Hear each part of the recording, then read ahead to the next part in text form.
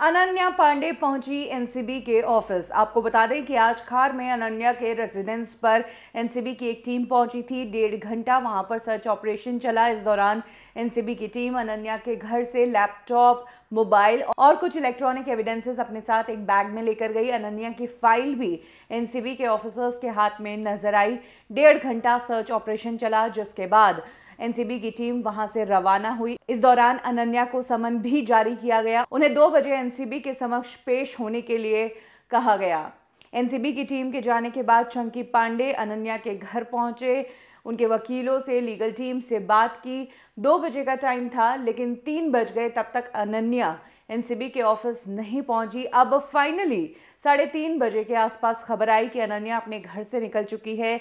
NCB के समक्ष पेश होने के लिए अनन्या की पहली फ़ोटो सामने आई है, जिसमें वो वाइट कलर के कुर्ते में नज़र आ रही हैं। एनसीबी के सामने उन्हें गवाही के लिए बुलाया गया है। आपको बता दें कि कल एक रिपोर्ट आई थी कि आर्यन के मोबाइल से एनसीबी की टीम को व्हाट्सएप चैट मिली है।